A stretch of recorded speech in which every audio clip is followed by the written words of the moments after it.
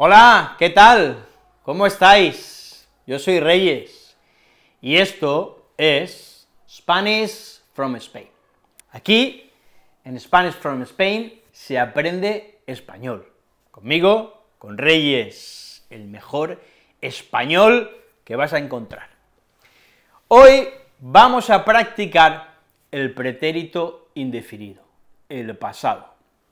Y para ello, os voy a hablar de lo que hice la semana pasada, el jueves pasado, porque hace unos días fue mi cumpleaños, como vosotros sabéis, hace unos días, el jueves pasado, fue mi cumpleaños, la semana pasada, hace una semana, y cumplí 42 años.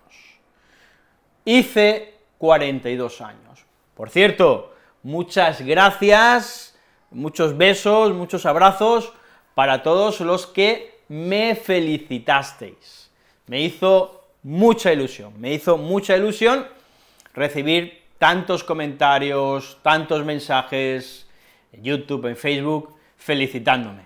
¿eh? Eh, fue, bueno, me hicisteis feliz y me hicisteis sentir querido. Entonces, Muchos besos, muchos abrazos para todos, ¿eh? Os quiero un montón.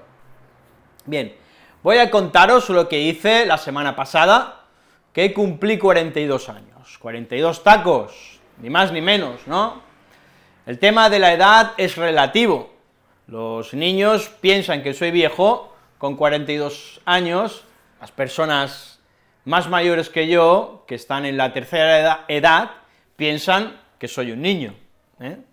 Lo cierto es que estoy ya en el ecuador de mi vida, he llegado a la mitad de mi vida, ¿no? Tengo 42 años, la esperanza de vida en España está en los 82 años, 83, así que estoy en el Ecuador, ¿vale? Bien, bueno, eh, lo primero que hice fue levantarme, ¿eh? la semana pasada, el jueves pasado, el día de mi cumpleaños, me desperté a las 9 menos 20, eh, ocho y media, ¿vale? Me desperté, me levanté, y lo primero que hice fue lavarme los dientes. Me lavé los dientes, me lavé la cara, y entonces desayuné, desayuné. Desayuné lo que desayuno todos los días. El jueves pasado desayuné lo mismo que siempre, no fue especial, en ese sentido. Tostadas con aceite y sal, y ya está. Ese fue mi desayuno, eso fue lo que yo desayuné el jueves pasado, el día de mi cumple, de mi cumpleaños. Entonces, después de desayunar, me duché, me duché y me vestí. Me puse la ropa, ¿vale? Me vestí. A la hora de comer, cuando llegó la hora de comer, pues estaban mis suegros aquí, vino también María del trabajo y comimos juntos. Y pedimos algo que me gusta mucho. Es el día de mi cumpleaños, es un día especial, y hacía mucho tiempo que no había comido en un restaurante chino comida vietnamita. No china, pero hay un restaurante chino aquí en la ciudad que tiene un menú vietnamita que me gusta mucho. Así que pedí, pedí, pues eso, comida vietnamita, eh, unos rollos que van fritos, rebozados, con una salsa, también había pato, pato pekín, ¿no?, que le llaman, esto, esto es más chino, ¿no?, creo yo, ensalada, gambas, uh, gambas en, con una salsa, bueno, riquísimo, ¿eh? me gusta mucho ese restaurante, así que pedí en ese restaurante. Después de comer, después de comer, hablé con una amiga, hablé con Jill, que es una amiga americana, ¿no? Yo a Jill la conocí, la conocí hace muchos años, hace siete años o quizá más, porque le di clases de español, fui su profesor de español.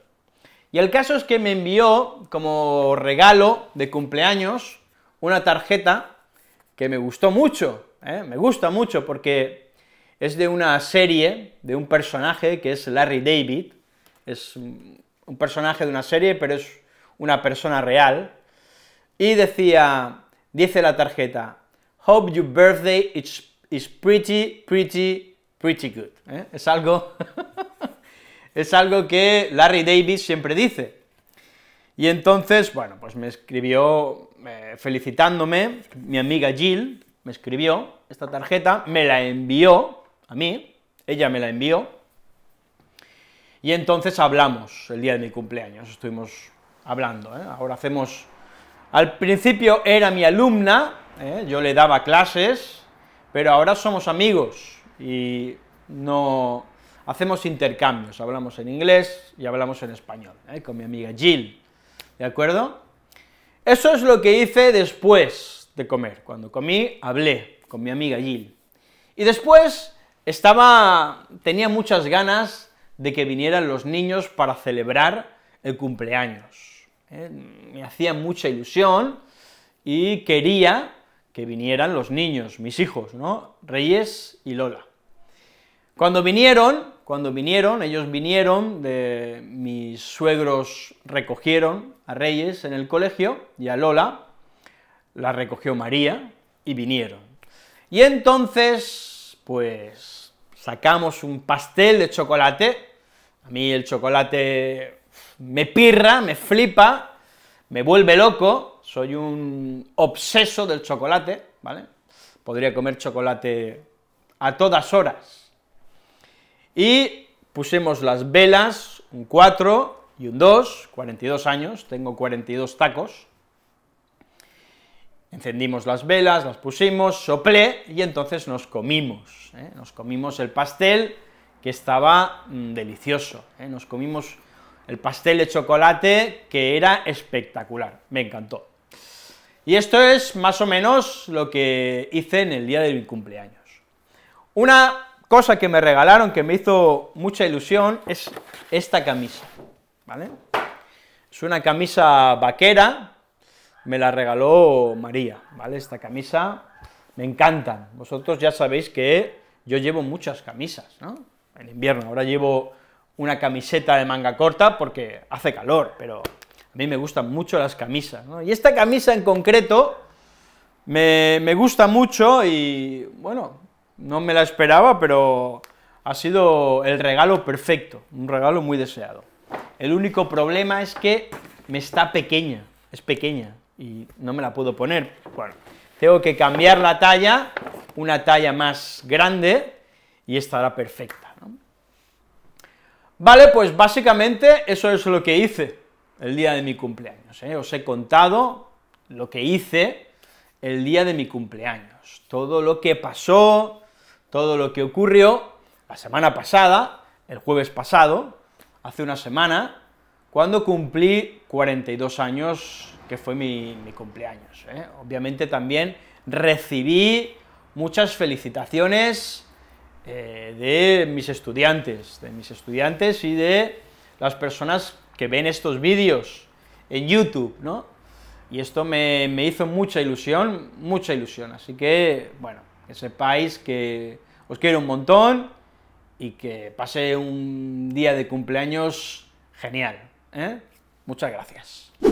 Bueno, pues ya está, ¿no? Ahora quiero daros un par de explicaciones, un par de argumentos para que conozcáis y sepáis cómo usar el pretérito indefinido, un poquito mejor.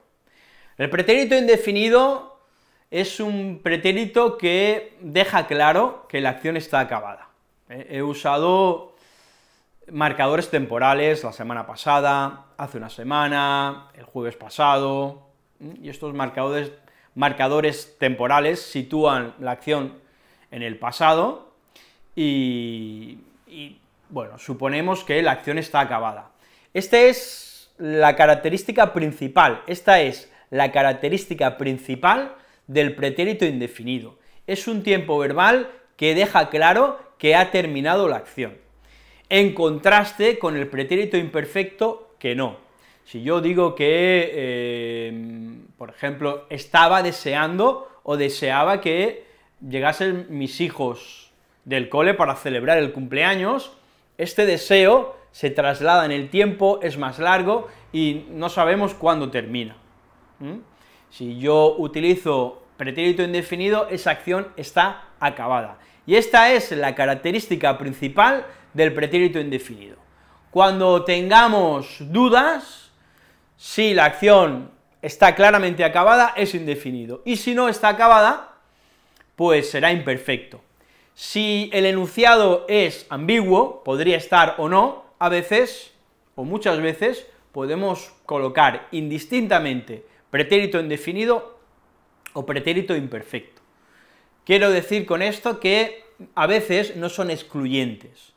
A veces podemos tener la posibilidad de usar indefinido, otras de usar imperfecto y también de usar ambos, con un matiz diferente cada vez que lo utilizamos. El imperfecto trae la acción un poco más cerca del presente también, la hace más, eh, la hace más real, porque la coloca, la sitúa, la trae al presente. ¿eh?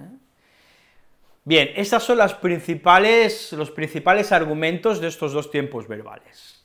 No obstante, el que he trabajado, el que hemos trabajado más aquí, es el pretérito indefinido. He utilizado un montón de verbos conjugados en pretérito indefinido. Bueno, pues eso es todo, chicos, chicas, os quiero muchísimo.